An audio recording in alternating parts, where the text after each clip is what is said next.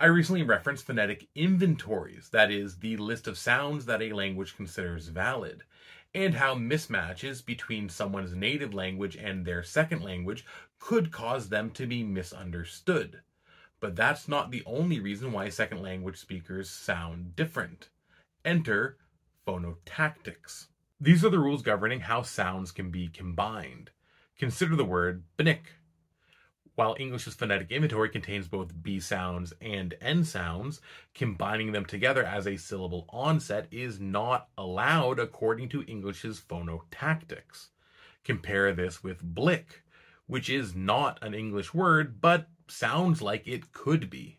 A more practical example would be the silent Ks in words like know and knead and knight. Earlier versions of English did pronounce these Ks, but changes to English's phonotactics means we no longer do because the KN combination as a syllable onset is no longer considered valid. Of course, the spelling is retained simply because no one bothered to change it. English phonotactics allow for consonant clusters, but other languages like Japanese have phonotactics that do not. That is why when someone with a thick Japanese accent is speaking English, or when Japanese borrows English words, they need to break up those consonant clusters by inserting vowels.